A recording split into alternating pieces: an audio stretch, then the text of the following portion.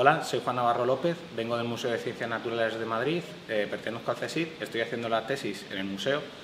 y hoy vengo al Congreso de la SEO a hablar sobre un trabajo que hemos enviado a publicar a Plus One recientemente que trata sobre la relación entre la ocupación de las cajas nidos, la diversidad de la dieta y la diversidad del hábitat.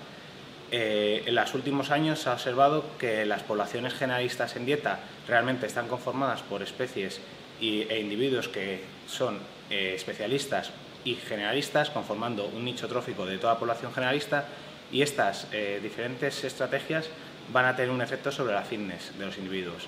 Eh, hoy vamos a narrar cómo la diversidad de la dieta se correlaciona con la diversidad del hábitat en el cernícalo vulgar en una población en Segovia.